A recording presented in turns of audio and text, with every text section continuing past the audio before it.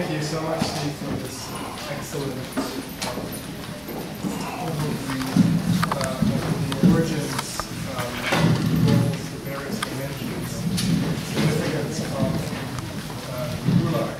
We- now turn to uh, the Czech uh, connection, um, so to speak, to um, the subject. Uh, First with um, Adam Hradilek, um, who uh, heads the oral history group at the Institute for the Study of Totalitarian Regimes in Prague. He's uh, a number of publications to his credit, including a recently edited uh, monograph on For Your Freedom and Ours, a collection of memoirs and essays on protests against the 1968 invasion of Czechoslovakia. His current project is dedicated to the Czech prisoners in Soviet labor camps and um, he uh, has been in this position since uh, 2008, following a uh, stint at Columbia University as a Fulbright visiting fellow. Um, With that, I give over the floor, for about 20 minutes or so. Thank you so much. So, good morning, everyone. Uh, I will sit down because I have to work a little bit more with the computer, so I hope you at least hear me if you don't see me. Uh, the goal of my lecture today is to present uh, the Czech or Czechoslovak experience with uh, the forced labor camps in the Soviet Union. It's uh, one of the projects uh, our institute does, and uh, when I was appointed as uh, the head of the oral history group a few years ago, the one of the first target groups to interview were victims of these camps.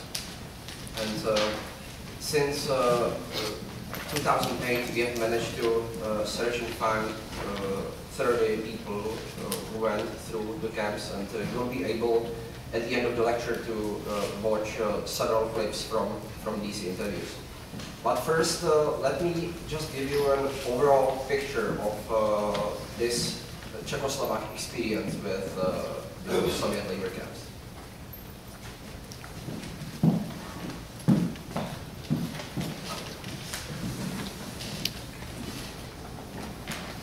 This will be the introduction uh, page. Sorry.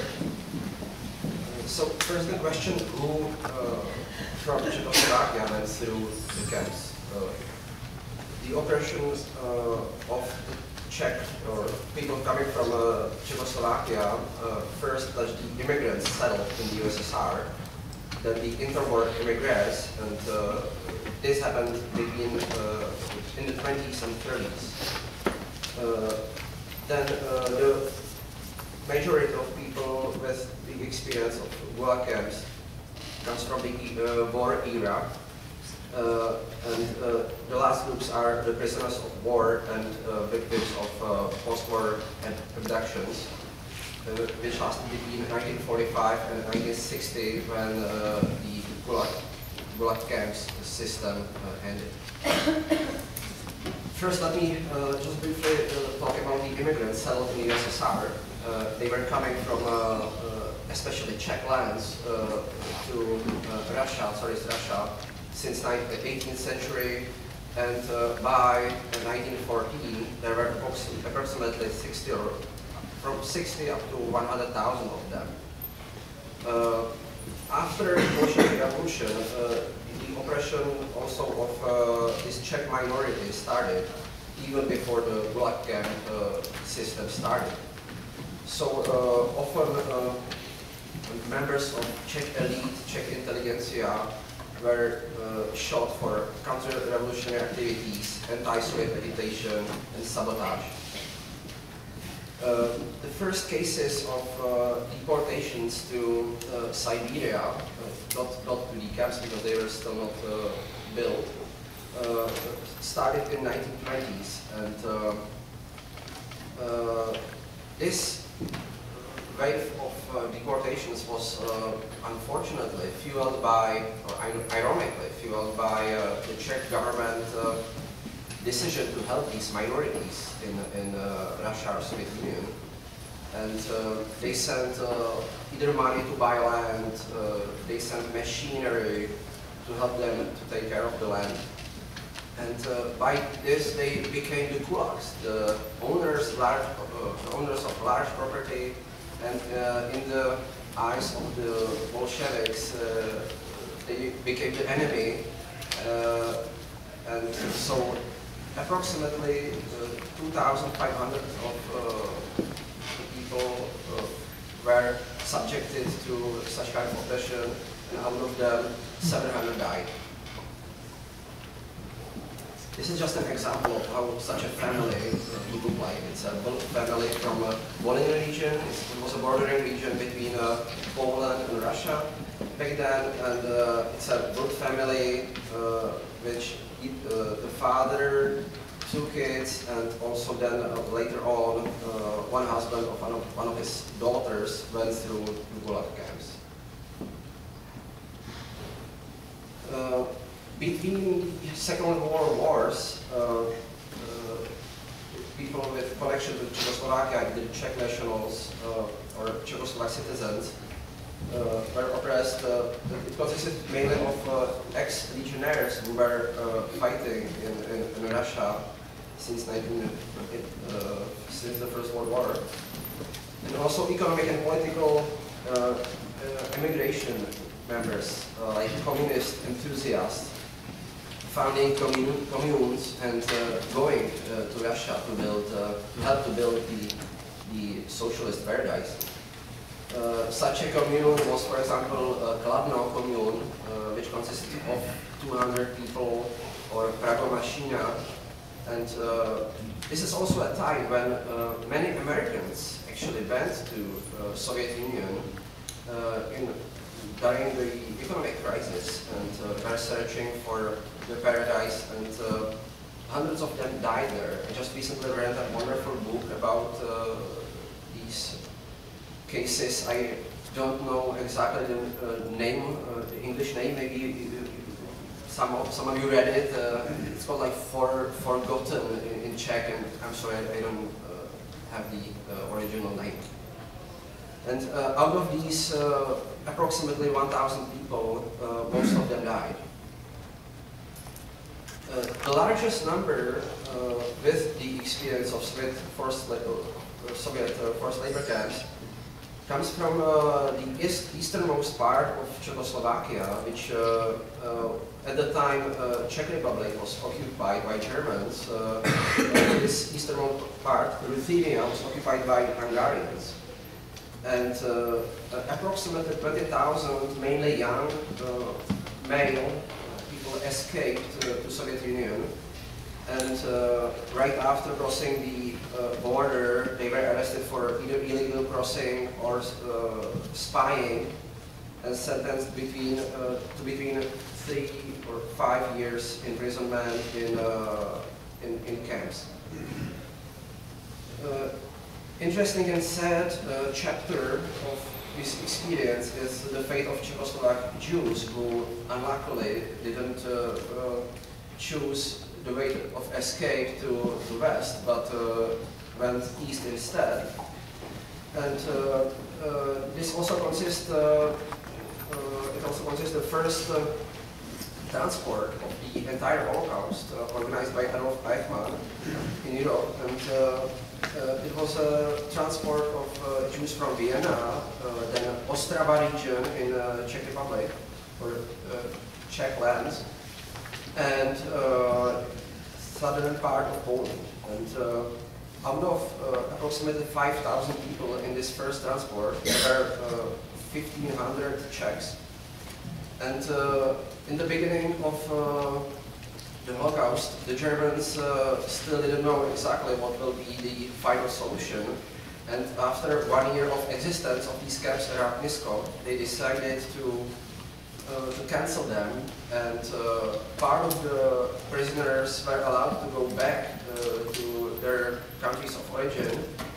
But 1,500 uh, uh, Czechs were forced to and also other nationals were forced to flee to Russia. They just drove them to the border, started to shoot and let the people cross the border. They were arrested again for illegal crossing or uh, other accusations. were sent to Gulag camps, and out of these, uh, seven, approximately 700 people, 300 died. Uh, this is just a release uh, document uh, uh, from Norilsk camp of Jan Plovajko. It's a, it's a person I interviewed, it's the first person from uh, Gulag camp I interviewed already five years ago. And uh, he also comes from this Ruthenia region. He escaped together with his brother and uncle. Uh, the uncle died in the camps. Uh, his brother died uh, fighting on the Eastern Front when they were released to the Czechoslovak army from the camps. And uh, Jan Plovajko luckily survived and uh, went through all the fightings. He liberated, he, he took part in the liberation of Czechoslovakia. And, uh, but unfortunately, he was expelled from uh, the army in the 1950s because he wasn't a communist and he refused to take part in the, in the purges against his uh, colleagues. And uh, until 1970s, he worked in various uh, uh, various low-paid jobs. And just for your knowing, in uh, December 2010, he was awarded the highest uh, Czechoslovak award by our president, the Order of uh, White Lion. Uh, one of the Jewish uh, victims of uh, the Gulag Gulag camp uh, was also Egon Morgenstern, who was just interviewed by my colleague 14 days ago in, in Vilnius, Lithuania. His sister was shot by the Nazis. Uh, mother perished in a concentration camp. Uh, his father was killed in Warsaw ghetto. And uh, Egon and his brother escaped to Poland and Estonia, where they were arrested by the Soviet Secret Service. They were accused of spying and sent to camps. Egon uh, ended up at uh, Petra labor camp, uh, where he uh, was kept between 1939 and 1945. But after the war, he wasn't allowed to come back to uh, Czech Republic, and so he was wandering around the Soviet Union, trying to contact uh, uh, the Czech, Czechoslovak embassy. And then uh, in the beginning of uh, 50s, he fell in love, he got married and stayed in, uh, in the Soviet Union. And only in 1958 his uh, relatives learned of the fact he's still alive. And uh, from what I heard from my colleague, he uh, now plans to, in his, he's now 97, and he plans to come back to the Czech Republic. Uh, the victims uh, of the war era, uh, there's also an interesting chapter here, uh, the biggest expert in uh, the Gulag question in Czech Republic is Mr. Mečislav Borak.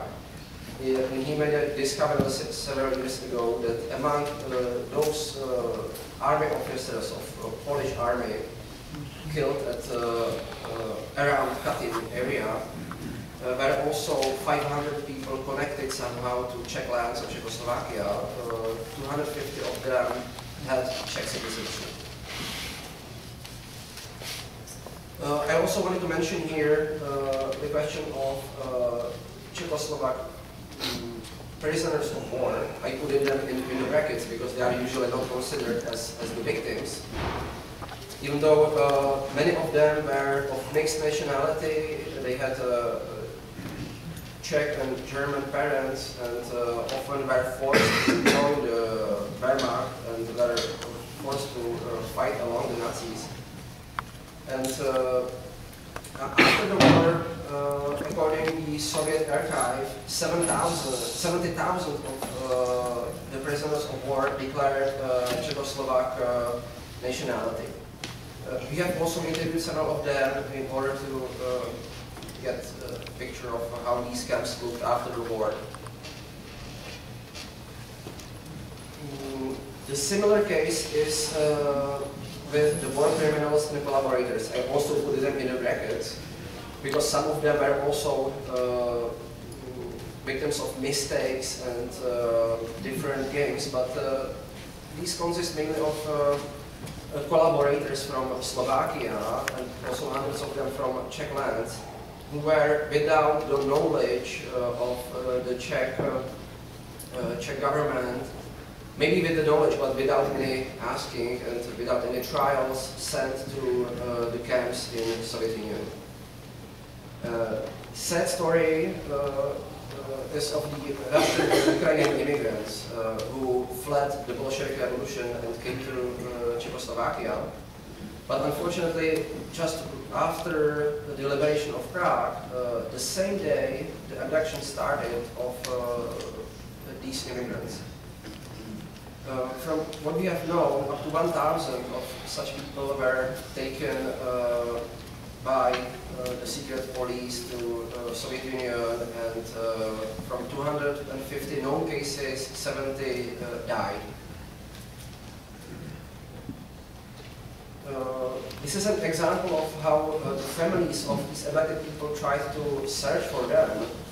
The wife of Mr. Skripnik tried for several years to learn about uh, the whereabouts of his uh, of her husband. And only in 1956 she received the death certificate from Magadan region, together with, uh, with a letter from the Czech uh, Czechoslovak Minister of Foreign Affairs, saying that they are expecting uh, 30 crowns for, for her for paying for sending these documents. So you can have a picture how uh, difficult it was for uh, the victims of these abductions to. I also wanted to mention uh, deportees from uh, the post-war Lithuania, which uh, actually became part of Soviet Union after uh, the end of the war, because uh, uh, the Sovietization of uh, this part uh, was very brutal, and approximately 40,000 people were deported from this region after it was separated from Czechoslovakia into uh, the Soviet camps. Uh, just to mention briefly where uh, the Czechoslovak prisoners went. From uh, the archival materials we know they were present approximately in uh, uh, all the camps, major camps we know of. But from the interviews we have conducted, uh, and also from the archival materials, most of the people went to Pechora region and Vorkuta region, which are marked there. Uh, plenty of them also went to Arkhangelsk, where the A is.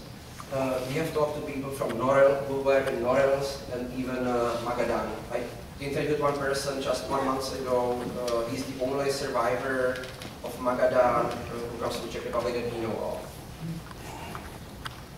Uh, just briefly to mention the research in this field, uh, there was some kind of research after the war. Uh, there was even uh, one person dedicated to uh, this task at the Czech embassy, Czechoslovak embassy in Moscow.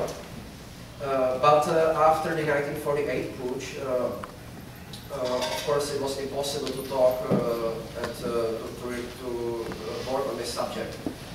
But there were some publications in the exile, for example, Karel Goliat or František Polák, he published three books in New York about this topic, about his experience in Gulag. Or Eric Kulka, a historian from Czech historian who left for Israel, he interviewed dozens of uh, Czechoslovak uh, citizens of Jewish origin who went through the Gulag camps. Uh, after 1989, uh, the major uh, research was done by Mr. Borak from uh, Silesian University in Opava.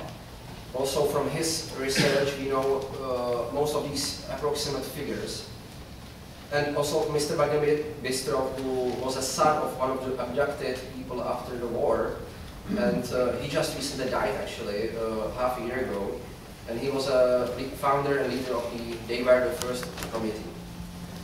Uh, then there, there is, for example, a Post-Bellum Association which interviewed 50 people since 19, uh, uh, 2007. But unfortunately, unfortunately, most of them were interviewed because of their war experience as vet, war veterans, and most of them talked about the Gulag only for a few minutes. Uh, and uh, just to briefly mention uh, our our task, we are collecting the interviews. We have already 30 of them. Unfortunately, I don't think we will have uh, more than like five of them collected because there are no more survivors alive. Uh, apart from collecting interviews, we are also collecting memoirs and documents from their relatives, uh, letters, And uh, we also started a cooperation with Memorial uh, Association in Moscow in order to search for uh, the archival materials of those people that we have interviewed. Just, in, just to mention an expedition a colleague of mine made uh, in 2009, and there will be a movie released just in a few months about uh, the death road uh, which was built between uh, Salekhard and Igarka, actually connecting uh, the Vorkuta and Norilsk uh, camps. Uh, but after a few years they abandoned this project. It was, it was impossible to build in the marshes and so on and uh, they found several camps, or they managed to go through uh, the vegetation uh, and uh, visited several camps. Uh, you can see the beds the prisoners uh, stayed in, and they opened the stove that you, can see in the center, and they found a pile of documents inside and letters they brought to Czech Republic. We scanned them and sent them to the documentation, center and museum in, in, in Canada. Uh, that's about uh, a little introduction to the Czech experience and uh, uh there are four short clips, two minute clips uh, uh,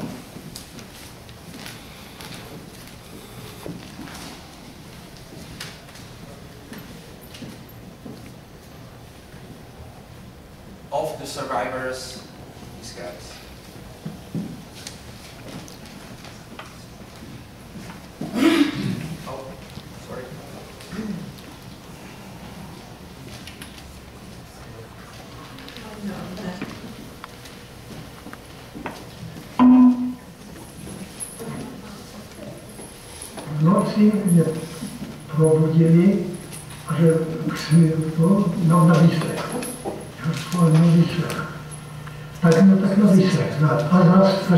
Samé.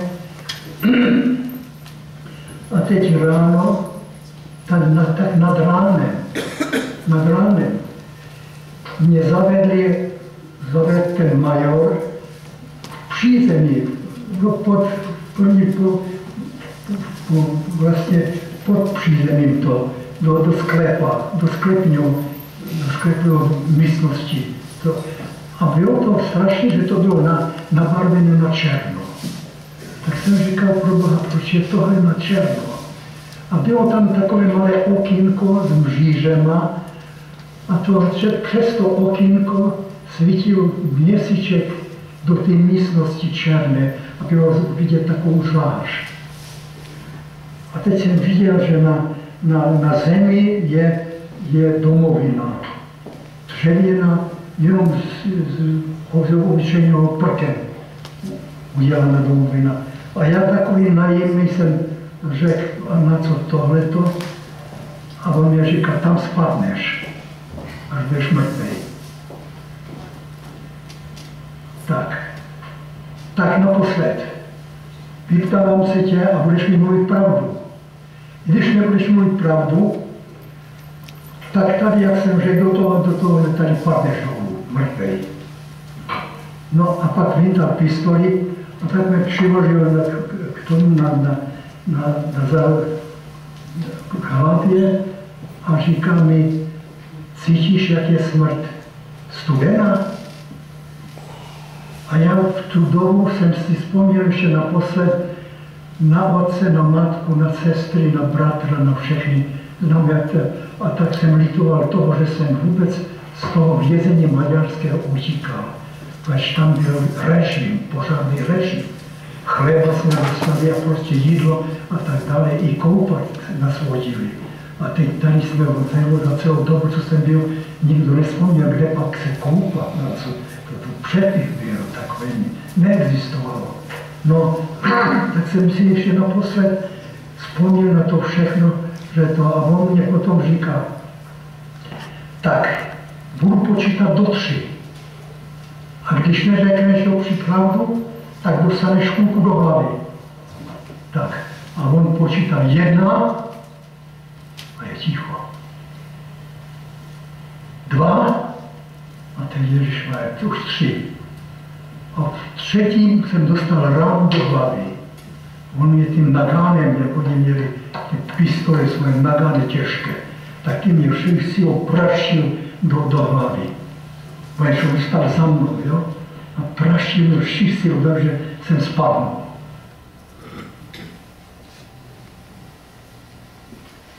No a tam nás posadili do vlaku, samozřejmě do dobyčí zase, deky klinik. No a to bylo nějak v červenci. Horko. Vagon je rozpalený, plechový. A nás bylo ve vagoně 30 lidí. A na, na, je, na jeden den nám dávali jednu konev vody, asi 15 litrů vody. A asi 300 nebo 400 gram chleba a dali nám tomu slanečky. Žíly, horko, žíly, taková. No, my jsme byli vysvědčeni tam v tom, protože jsme bylo přidržení, ty okýnka tam byl nahořen žíže jenom, za to vzduch tam žádný nepřišel pomalu. No, tak nás vezli 26 dní. Já jsem neviděl vůbec, kam jedeme. To tam byli Poláci, naše, Češi tam byli taky, bylo asi 10 Čechů v tom vagoně. A přijeli jsme do Archangelska a tam už bylo na nule. Tam, byla nula. Archangelsk, to. Tam nás vysadili v Archangelsku a udělali šesti stup a pěšky jsme šli takovým lesem nějakým, no, tundra, to byl, to byl les, taková tundra tajga a šli jsme až přístavu Bílého moře. To jsme šli dva dní. No, to jsme spali v takovém lese někde okolo strážní psí, okolo utíste nemocníka. No a přijeli potom tomu moři, jako tomu zálivu, tam nás posadili za nákladí lodi a vezli přes to na, do Bělomorska. A z Bělomorska zase pěšky přes takový ta, nějakou tajgu a vezli potom se tam pěšky jsme šli a přišli jsme do takového lesa, to taky nebyl les jako takový, ale už tam byly stromy takové pěkně vzrostly, borovice tam byly a přišli jsme na určitě místo, tam byla taková bouda veliká, dřevěná, tam bylo nářadí pouze, nic jiného tam nebylo. No a ten strážný, co přišel za sekiru a zase do, do stromu a napsal tam kolona, numer 1. Zde budete жить и работать.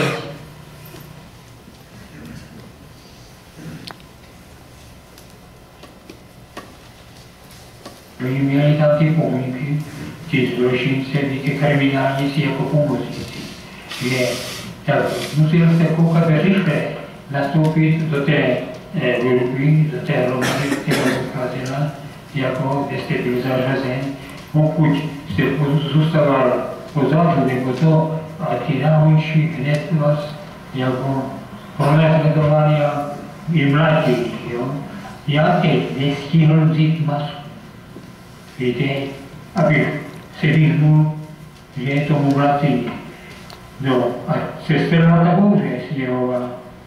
Uha, než jsem stihl, když měl jsem kolem krku rušík, víte, ten rušík, oba zase oblišili tam, aby mě to chránilo, tak úplně mi to pomozlo celý.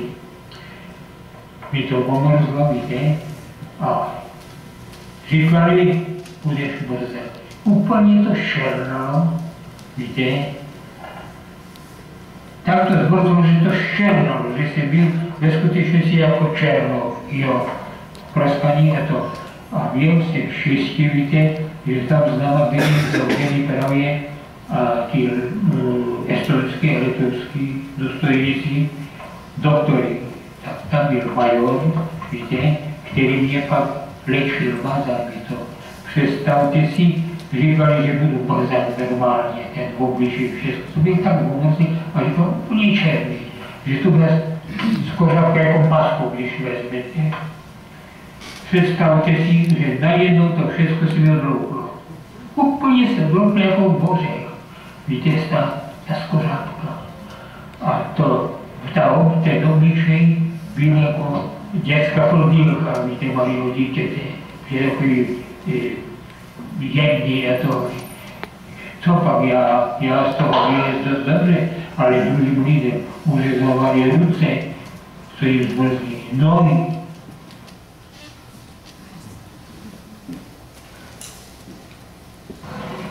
jsem se vrátil v 51. roce ve 3 hodiny v noci vlakem Šťace na Machov, takový motorače vězni.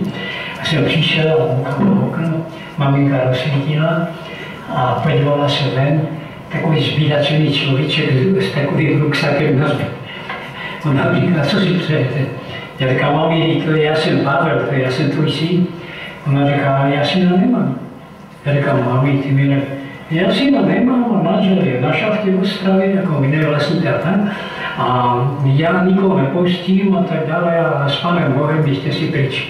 Tři hodiny a půl jsem čekal venku a bylo to, jsme se vrátili na velikonoční čtvrtek nebo pátek před velikonocema. A maminka říká, běžte, běžte, běžte, já nikoho nepustím, já mám strach. A já syna nemám, můj syn umřel. Já říkám, mami, ale já žiju, já jsem neumřel.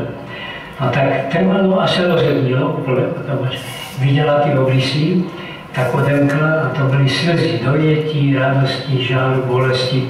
Tak se to prolínalo a tím způsobem maminka už potom sama brečela, já jsem brečel. A tak jsem si lehl a spal jsem 48 hodin v kuse z té únavy z toho, že jsem se nemohl probrat. A pak přichodili desítky lidí, možná i stovky, Pánko, prosím tě, můj táta tam zůstal, můj strýc, můj bratr a tak dále. Neviděl si ho, není tam, aby nějaké svědectví dal.